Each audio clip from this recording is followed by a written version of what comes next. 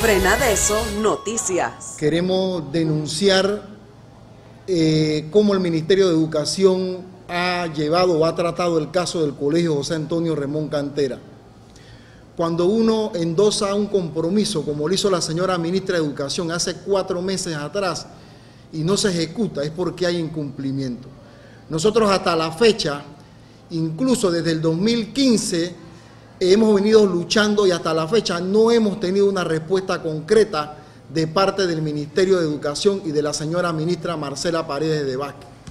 Esto nos preocupa sobremanera porque precisamente el informe eh, hecho por la Universidad Tecnológica arrojó de que había que demoler y restaurar las partes laterales del edificio principal porque este era un tema de seguridad y el Ministerio de Educación tiene pleno conocimiento de esa información sin embargo, nos pidieron 70 días hábiles, estamos hablando de cuatro meses atrás, y ni un solo servidor público, funcionario público de esta entidad ha venido a conversar con los docentes o con la comunidad educativa de esta institución educativa sobre los avances en relación al tema que nos ocupa, que es la restauración del Colegio José Antonio Remón Cantera.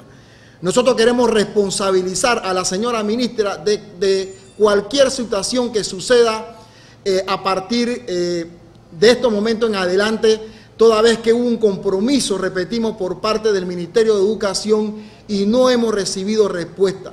Se demuestra una vez más que las autoridades de este gobierno y de todos los gobiernos no les interesa absolutamente nada con la población estudiantil, con nuestra población en general, porque realmente están por sus asuntos políticos y demuestran una vez más que realmente existe, si existe una política de Estado, es para hacerse de los bienes públicos y no para defender los intereses de los más desposeídos.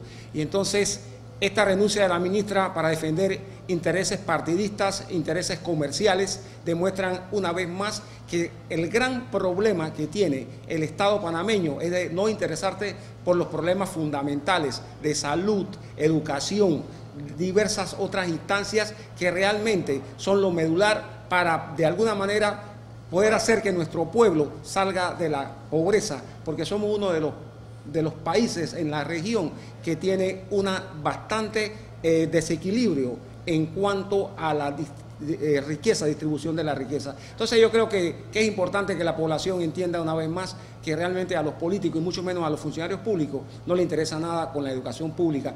Hemos respetado por años eh, la decisión de los compañeros en este plantel.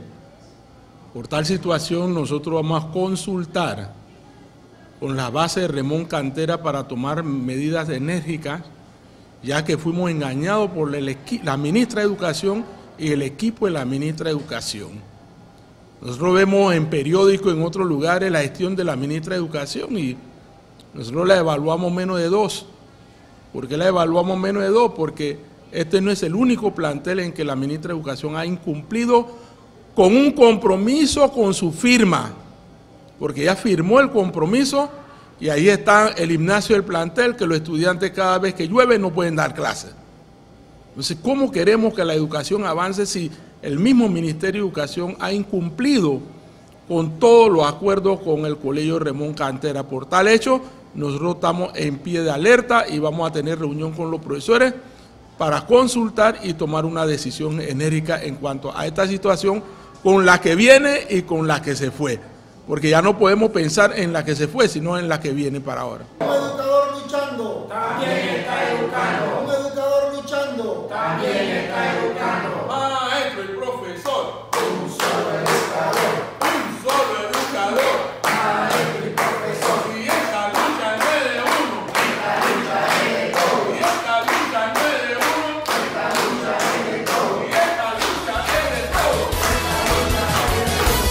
Frena de eso, noticias.